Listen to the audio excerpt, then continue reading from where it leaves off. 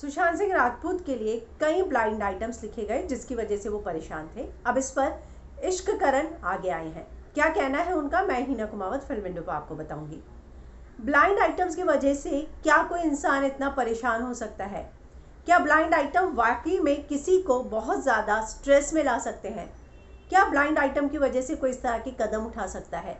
ये जो सारे सवाल है, सोशल मीडिया पर काफ़ी समय से चल रहे हैं। मुंबई पुलिस ने अपनी जाँच में ये कहा है, जो सूत्रों से पता चला है, कि वो ब्लाइंड आइटम से काफ़ी ज़्यादा परेशान हुआ करता था और वो इस बात को लेकर चिंता में रहता था कि उस पर कभी भी, कोई भी कुछ भी नेगेटिव लिख देता है। अब इसी पर जो है, आज इश्क करण ने एक बात कही है। उनका ये कहना है, उन्होंने ये कहा है ही was a brilliant mind stop this classical strategy of blind items on his mind यानी कि वो एक ब्रिलियंट माइंड थे और जो ये क्लासिकल स्ट्रेटजीज होती है ब्लाइंड आइटम्स की वो जो है बंद होनी चाहिए।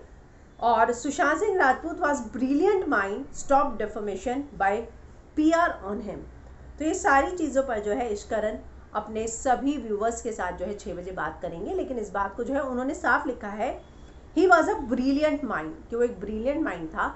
और वो जो है केस के लिए सारे सबूत इकट्ठा कर रहे हैं, बहुत सारी इन्फॉर्मेशन इकट्ठा कर रहे हैं। और इस केस में सीबीआई जाँच हो ये उनका और डॉक्टर स्वामी का पूरा प्रयास रहेगा। वो लगातार जो है सुशांत को लेकर आवाज़ भी उठा रहे हैं कि कहाँ कहाँ चीज़ें गलत थी, क्या था। वो लीगली जो है इस केस को स्ट्रॉन्ग बनाना चाहते हैं और सीबीआई जाँच हो, ये उनकी कोशिश है।